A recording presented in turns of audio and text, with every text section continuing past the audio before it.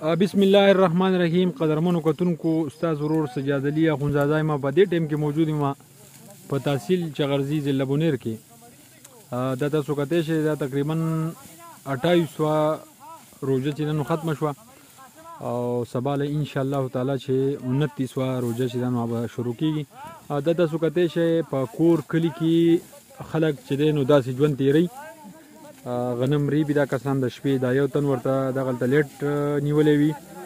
او نور کسان چې دي نو دا غنم ریبي دې ته عشر وي عشر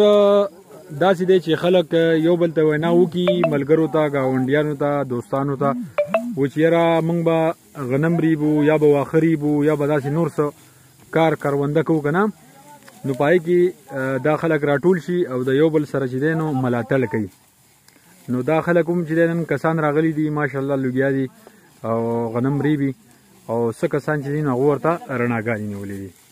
نو اتفاق چې دی نو دا موږ له دا سبق راکړ چې په اتفاق کې برکت وي کنه نو که دا پټی ته اوس یو کس تفریح دی نو هغه به تقریبا په لس ورځو کې ریبي او په عشر باندې چې دی نو دا به تقریبا یو شپه ورېبل جو په دوه شپې دی والي دا سیده کنه ډیر زر ریبل شي نو بالکل په اتفاق او اتحاد په هر څه کې چې نو کوي ځکه چې اتفاق ډیر خشه دی تاسو کته شه دا الګه ګوتی پکې ونرې بای نو پدې کې دوه ځان سره ایمرجنسي کې دا پس اډ د پاره د سی پټه ټینچر او مالو چوم راغستی دا ذکر راغستی کې چرته سوق پکې خدای نه خواسته ګوته متوري بي یا نور لکه کنه نو هغه ډایرک چې نو هغه پټه مټه لولګي غرضی تور دا غلا سینو بشي دا پکې دا دو غنم لګیا دی ریبي خو په دې پسې دوه کسان شاته روان دي لکه هغه دی پورې مهامخ لګیا دي نو دا ګېډۍ چې دي نو دا غنم چې کوم یو ځای کې شي هغه ګېډۍ تړي نو دا چې وتړي نو بیا یې راغونډ کړي او بیا چې یو دلې شانتي ته جوړه کی بیا ورته ټریکټر او تریشر ودرې نو دا تریشر کی کنه او چې تریشر ورته تریشر کی نو هغه غنم چې نو بیا یو سی پاګي کی بیا جرندو ته ماشينانو ته دا وی سينو ډیر لانګ پروسس نه چې نو دا تیریږي دا غنم او دغه نو ځکه خو وی کنه چې مشران چې دا رزق چې نو ډیر زیات قدر کوي ځکه چې دا ډیر په ګرانه منی را رسی تقریبا شپږ و میاشتې او کړهو په ګم ډیر زیات دی نو دا ځای کول نه دی پکار دا د غنمو اشر چې نو وس شروع دی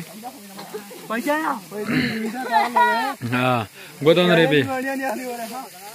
ها په دې کې داسې کسان چې سوک پکار بندیم لکه دیاړې بندیم غنم ری وی نو هغه پکې جدا لکه د خلکو کار مار رواني او سوک پکې پاشرو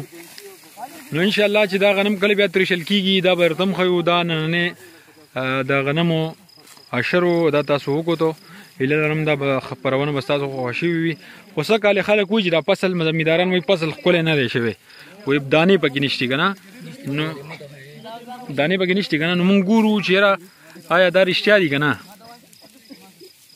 خیر دانه به پکې